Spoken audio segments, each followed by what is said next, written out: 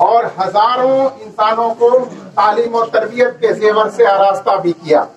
मुसलसल खानकाह रहमानी के तीन अकाबिर अलिया से इस्तेफादा किया।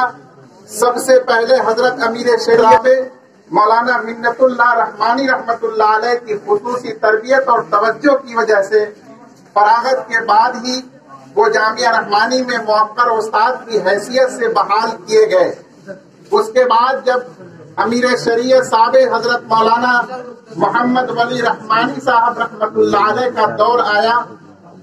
तो हज़रत के जिम्मे तदरीसी खिदमत के साथ साथ बरे दियाल मेरश के जमन अब चल पड़े।